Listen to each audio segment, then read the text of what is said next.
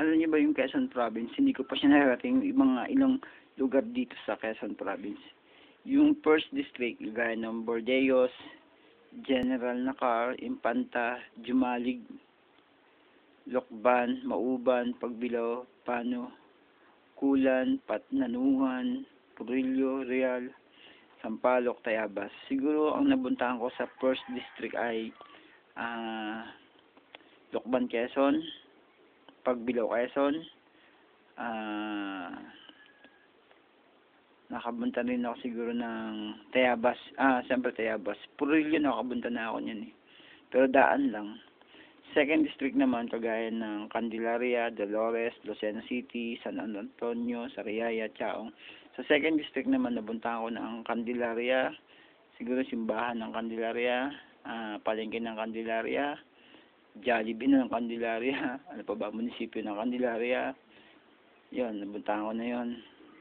Sa third, third district naman, Agdangan, Buena Vista, Kana, Katanawan, General Luna, Macalelon, Mulanay, Padre Burgos, Pitugo, San Andreas, San Francisco, San Narciso, Unisan.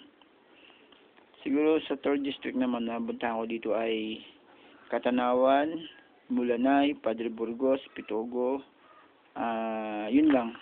Tapos,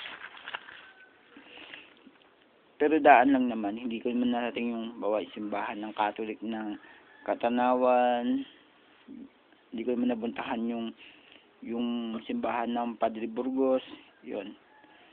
So sa 4 district naman, ah ano, Alabat, Atimonan, Calawag, Ginyangan, Quezon, Gumaca, Lopez, Perez, Tagkawayan, Plaradel.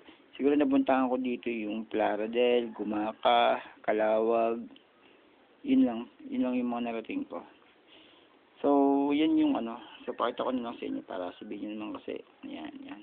First, dis fourth district, third district, second district, ah, fourth district, yan.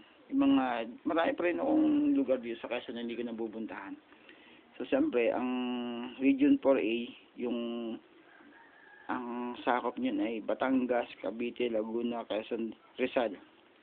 Tres, Mar- ah, Martires City, Santa Cruz, Lucena City, Antipolo. Yun yung sakop ng Region 4A. Pero yung, ano, yung Quezon Province, meron siyang apat na distrito. So, may mga lugar pa dito sa Quezon Province na hindi ko nabubuntahan. Siguro kung may pera ako, bibisitahin ko siya. O kaya naman gamit ko yung bike ko, mountain bike, na meron akong tent, meron akong ano, magbablog ako. Siguro yung mga ibang lugar dito, mabubuntahan ko talaga.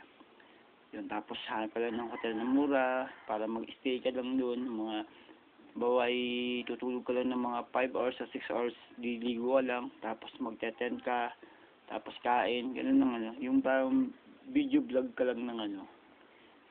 Tapos yung, yung vlog mo kumikita na ng malaking pera, no? So magagawa ko din yun. Ah, tawag dito yung ano, yung yung gusto ko, yung plano ko, magagawa ko din yun. Kung mamamonetize yung video ko, yun lang, and stories lang. Paalam.